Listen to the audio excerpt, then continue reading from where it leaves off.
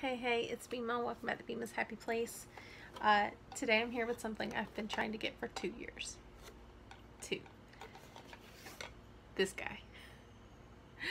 Um, I have been trying to get this Barbie Looks doll number five, number five, um, for two years since they were released on Mattel's site and he is always sold out always sold out. Um, the way I was finally able to get him is I saw someone post the other day um, in a group I'm in on Facebook for doll collectors that uh, he and the other dolls from this collection here uh, had been released on walmart.com and two days later he's mine so we're gonna open him up and um, he's glorious I'm so happy I'm so happy.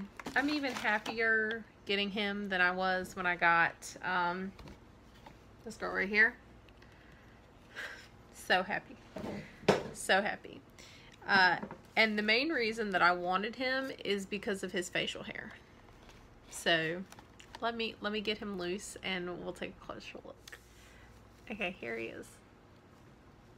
So his hair was a little, little raggedy here, but He's got this nice felted hair here with like the centerpiece that's rooted. Um, it is gelled partially, but look at this facial hair. It's so beautiful. Look at the facial hair. Look at those eyes. Like, he's, he's gorgeous. He's got like this knit pullover top and there is no closure or anything. It's just pullover and then he's got like leather like pants here that velcro at the back. He's got these white sneakers. He does have articulation at the ankle the knee the upper thigh the hip forward and back and out to the side.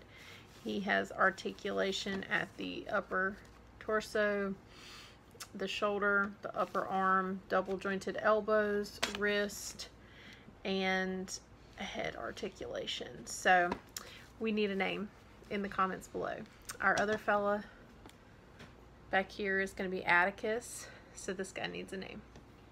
Leave it in the comments. Thanks for watching. Please like, share, comment, subscribe, and do make happy. I'll see you next time. Bye, guys.